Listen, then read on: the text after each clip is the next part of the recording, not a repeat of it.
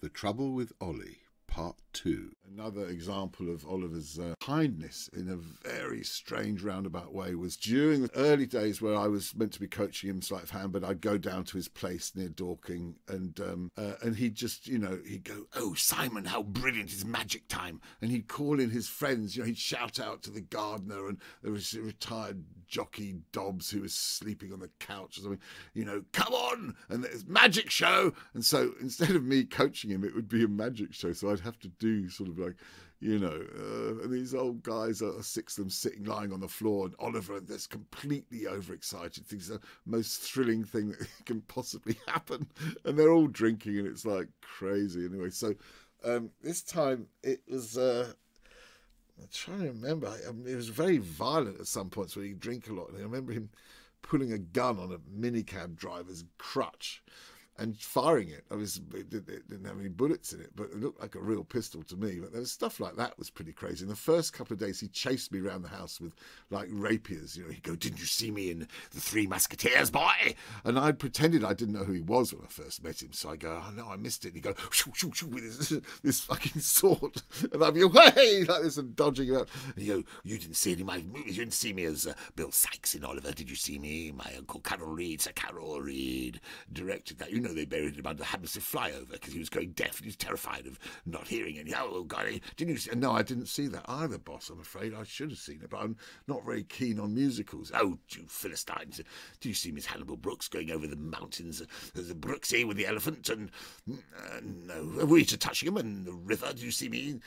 No, I didn't see that. What about in Ken's? Ken's lovely. The devils of, you know, women in love, women in love with me and Batesy, frolicking wrestling around nude and wrestling and uh, asses everywhere. And I said, no, I didn't see that either. No. So I just pretended never to have seen any of his films.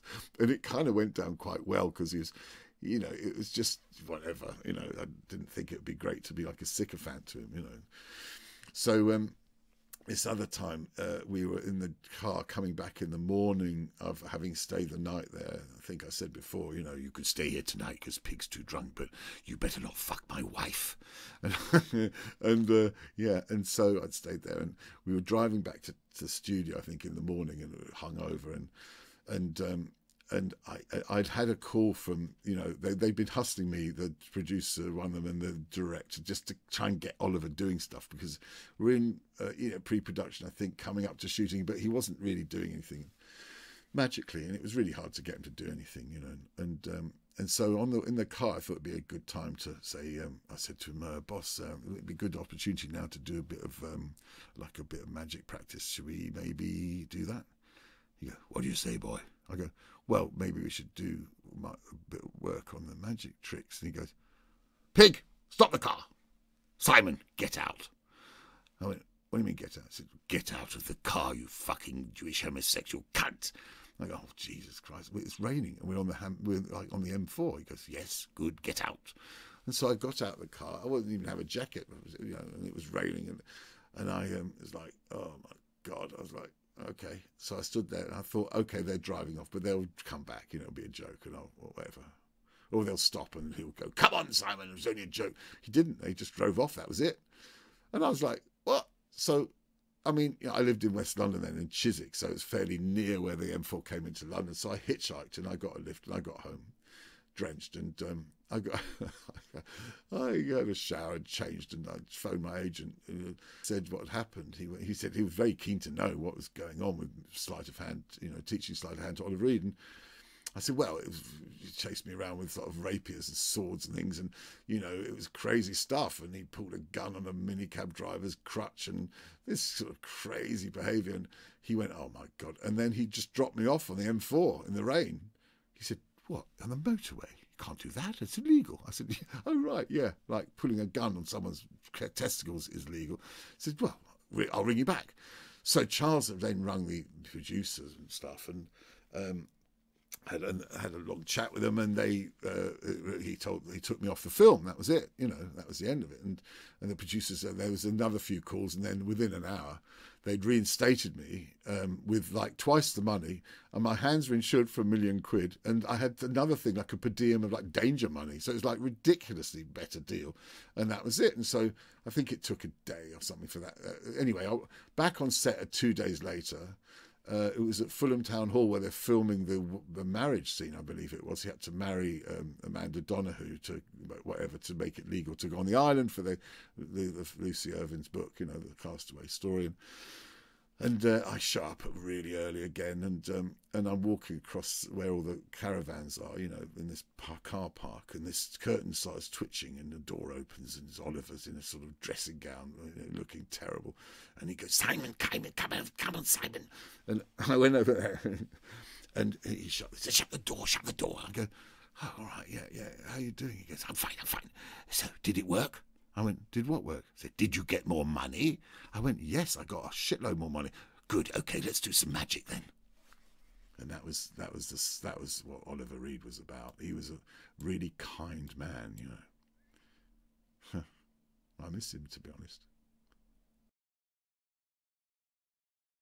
Wow, amazing paradox of a man who, who I think his his thing was he he really played Oliver Reed. He he he had to be on stage any time he was in public because I had some moments with him when he, he wasn't that out of it and he could sort of catch him, you know, reading a book quietly, you know. And I think he's actually quite a sensitive man, you know. And he he he had to play the character of this mad hellraiser, you know. So I mean, there were many examples, having spent you know, a month, nearly a month with him every day that you know, just, just crazy. One time in the White Elephant restaurant, he was being particularly um, hostile to a costume designer who on the film, who's who's a very nice guy. I can't remember his name now. He's a sweet guy. He's rather gay, a camp chap, and and um, you, you, know, and Oliver was having a go at him. You know, he, and it was a bit uncomfortable. And I was sitting opposite Oliver with my back to the room, and there's a big mirror there, and I could see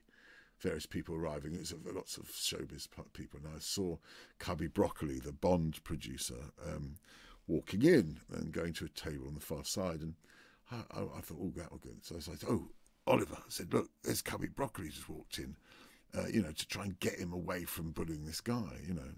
And he said, um, Cubby, come and have a drink with me, you jolly old spaghetti munching bugger. The, the quiet murmur that is generally the way in these posh establishments stopped dead as Mr. Broccoli strolled over and stood right behind me, facing Oliver with a hand on my shoulder. For a fleeting moment I daydreamed that fortune and fame awaited me as the next James Bond 007. Dum diddlum dum dum dum dum dum diddlum dum dum dum etc. etc. I could picture my name in lights as the Bond movie mogul leant over me, his face a mere inches from my own. Sadly, of course, this was not to be. Uh, Mr. Broccoli said softly, Hello, Oliver, how are you? It's very nice to see you. Ollie replied, Come on, let's have drinky poos, you lovely old cuddly beanbag. uh, Broccoli uh, went on to say, Regrettably, this is not possible. I have a meeting over there with Harry to discuss the new picture. We're thinking of Grace Jones doing a cameo. Oh, fuck! Glad I'm not Bond. I don't much fancy a swift kick in the bollocks from that ballet dancing battle axe. To which Mr. Broccoli wished Oliver well and returned to his table. I was somewhat relieved that Oliver had totally forgotten about picking on the costume designer and seemed rejuvenated by his chat with Mr. Cubby Broccoli. Oliver then proceeded to ask a rather pleasant young waitress a question. Listen, girlie, do you know about the Blackpool Cricket Club, where men are men and women watch from the pavilion polishing our balls? Well, have a gander at this tattoo on my shoulder. It's the insignia of the Blackpool Cricket Club, a golden eagle's head. I sighed as I knew what was coming next. Oliver continued, Do you want to see where it's perched? I said, Boss, I'm not really sure she wants to, you know. Oliver said, Shut up, Simon. Who asked you? Bloody hell. He promptly stood up and dropped his pants, revealing his genitals. Sorry, my dear, my penis is rather small. Look carefully, love. You can see where the eagle is perched. And there it was, eagle's talons tattooed on the end of his circumcised penis. A diminutive, grinning, sadistic Chinese woman tattooed me. I was with Johnny Miller just after he went to kidnap the great train robber, Ronnie Biggs. The waitress asked if it hurt. Yes, my dear, it hurt like bloody hell, but I was so drunk I didn't really feel it till the next day. Okay, that's it for part two. Please join me for part three soon, when we shall discuss more mayhem with one of the greats of film acting, Mr. Oliver Reed. Yes, that's me, boy. Now, bloody well, give me a and tonic and make it a triple. In fact, don't bother with the tonic. The rest of you can jolly well fuck off. Oh, that's charming, isn't it? Jesus, what a way to speak to people.